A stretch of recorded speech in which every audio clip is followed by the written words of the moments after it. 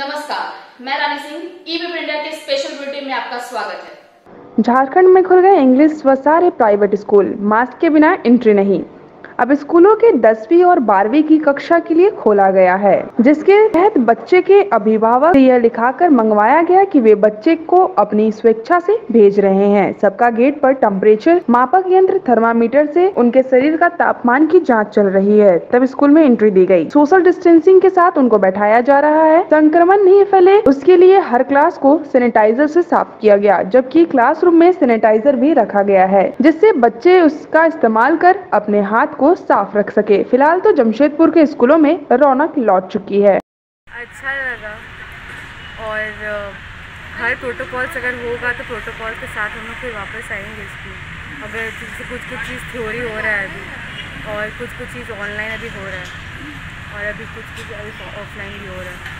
अपने दोस्तों से मिली तो कैसा लग रहा है? कितने दिन के बाद? बहुत अच्छा लगा लेकिन बहुत दोस्त से नहीं भी मिल पाया क्योंकि वो लोग घर पे बैठा हुआ है। क्या नाम हुआ आपका? श्रुति जैसा हम लोग शनिवार से जो हम लोग को जब से लोकल एडमिनिस्ट्रेशन से मिला परमिशन तब से हम लोगों ने वो सारा गाइडलाइन फॉलो किया है। आज बच्चों को पेरेंट्स से डिक्लेरेशन फॉर्म लेने के बाद ही एंट्री मिला है और बिना मास्क के, बिना ग्लव्स के हमारा हर फ्लोर पे जहाँ बच्चे बैठे हैं, वहाँ सैनिटाइज़र स्टैंड रखा गया है।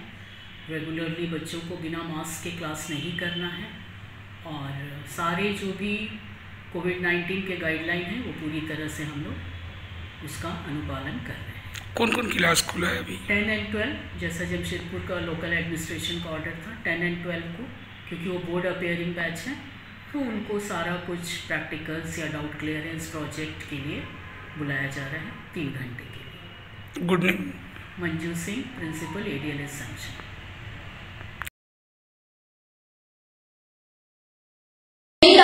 के लिए देखते रहिए ई पेपर इंडिया